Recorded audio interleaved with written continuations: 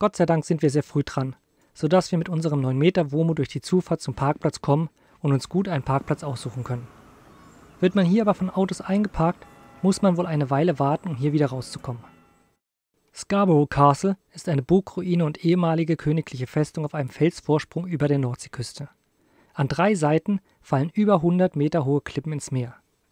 Der Weg zum Eingang und über die Wehrgänge ist relativ steil, aber dafür hat man auch einen tollen Blick über die Stadt und das Meer.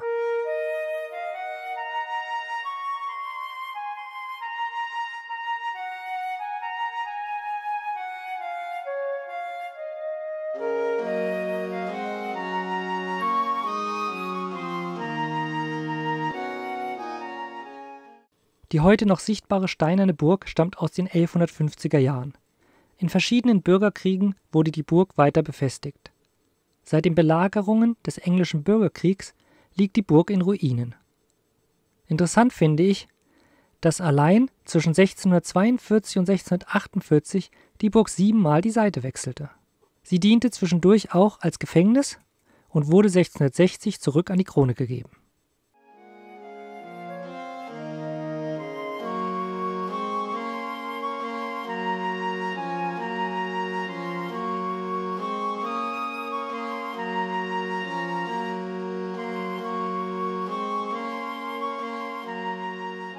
Trotz der vielen Angriffe hielt der Donjon aus dem 12. Jahrhundert und ist auch heute noch als Hülle erhalten, wobei die Westmauer, Innenwände und das Dach wegen des Bombardements im 17. Jahrhundert fehlen. Seit 1984 wird die Burg vom English Heritage verwaltet und es wurden 250.000 Pfund in die Gestaltung der Burg als Touristenattraktion gesteckt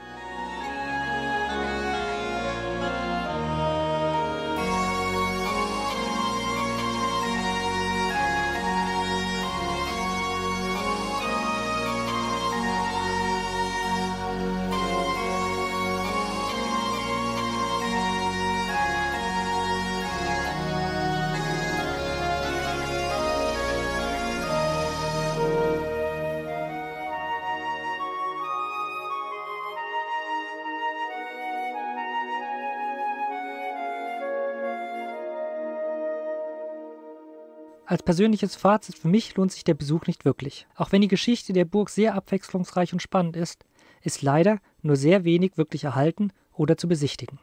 Wir verabschieden uns heute von hier und suchen uns etwas nördlicher einen sehr schönen Campingplatz zum Übernachten.